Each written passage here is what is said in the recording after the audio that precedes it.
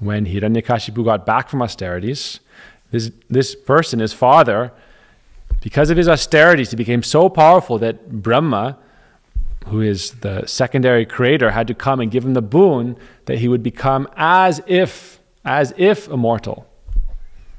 Terms and conditions apply. right? Lord Brahma said, I'll live for 311 trillion, 40 billion, 320 million years.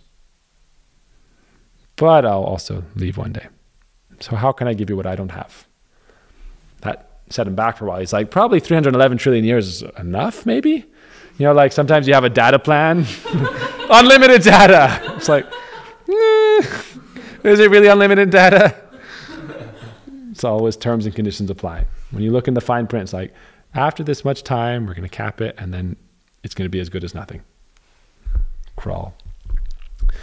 Snail speed, 1G.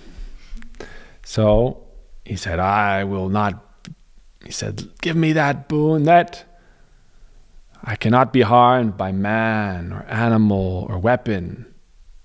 He didn't say woman. Hmm? Man means man, woman. It says nobody that you created, Brahma.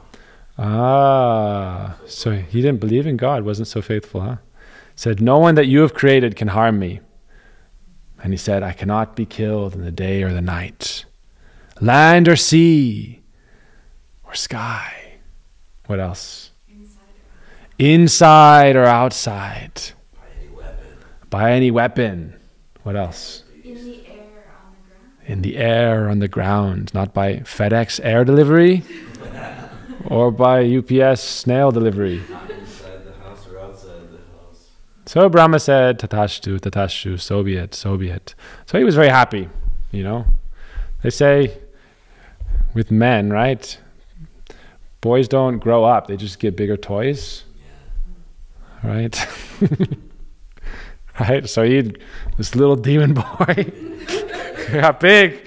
Now he got a big toy, the whole universe. And he started terrorizing everybody like a big bully. Right? What's a demon? Just a bully, but some fragile, some entity there also. Anyhow, the story goes that he came home. Kayadu wanted the boon that she wouldn't give birth until her husband was home. So Narad Muni spoke to her for all that time, and the boy was hearing in the womb. And he said, Okay, I won't come out. So he was very comfortable. That's why I tell people bhakti doesn't mean hard work.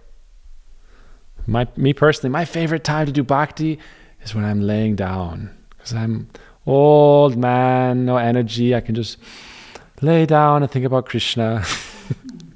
it's easy, right? Just lay down. Krishna says, Man mana ah, bhava, just think about me. How hard is it? To think about someone you love or that is very beautiful, right? Oh, very nice. This is bhakti. So Prahlad Maharaj is just laying in the womb. His mother's eating nice prasad, good food, and he's very comfortable. Mm, and hearing Narad Muni, hearing Narad Muni, drinking that, drinking that Harikatha, drinking that Harikatha. So when he came home, she had, she was born. Then they had a very happy life, happily ever after, right? Hiranyakashipu, Kayadu, baby Prahlad. They had a happy life. Everyone else,